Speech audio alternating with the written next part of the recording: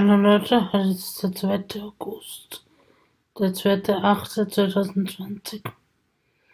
Heute ist Sonntag. Wir waren zum Mittag bei Freunden grillen. Das war echt lecker und es hat nach, zur Nachspeise Tiramisu gegeben. Das mag ich sowieso besonders.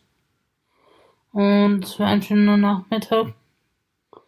Also bis knapp drei sind wir geblieben. Und dann sind wir nach Hause gefahren. Dann hat mein Vater Formel 1 geschaut. Und ich habe mich mit dem Computer beschäftigt. Und meine Mutter stickt die ganze Zeit. Ähm, von Osterdeckel bis zum Tischläufer, alles Mögliche. Ähm, mir geht's heute ganz gut. Ich habe ein bisschen Zahnweh, aber es geht. Und ein bisschen Kopfweh. Das geht auch. Ähm, morgen am Montag muss ich wieder früh aufstehen, weil die Volkshilfe kommt. Aber morgen kommt keine Assistenz.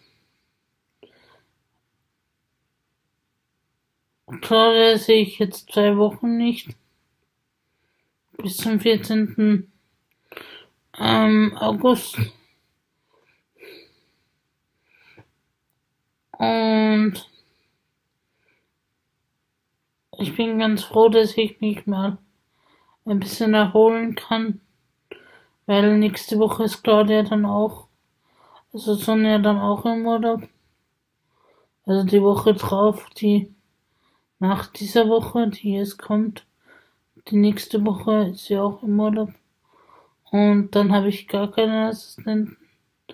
Und bin ganz froh, dass ich die Zeit für mich habe. Hoffentlich wird mir nicht zu langweilig, aber ich glaube nicht. Ähm,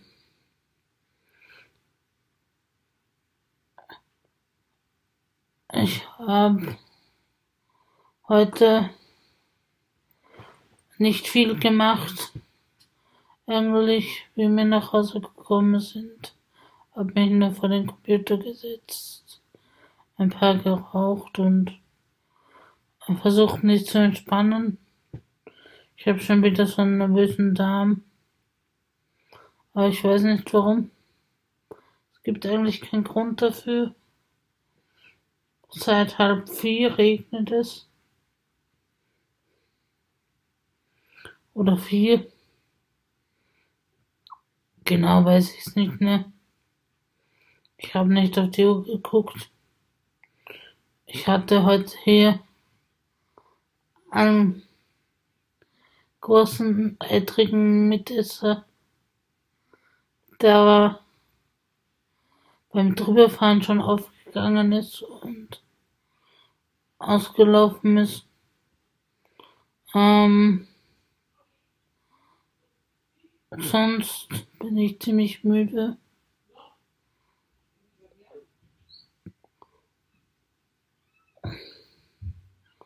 Und sehr träge. Ähm, es gibt nicht viel Neues. Wir haben dann am Sonntag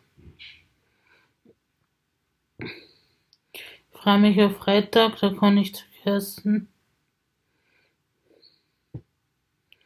Christoph ist nächste Woche nicht da.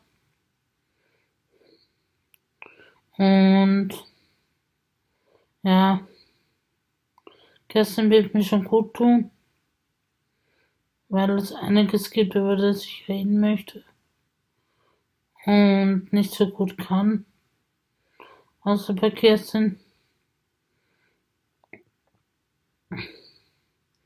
Und sonst ist eigentlich heute nichts gewesen. Naja, ich wünsche dir einen schönen Abend. Ciao, Eure Ines.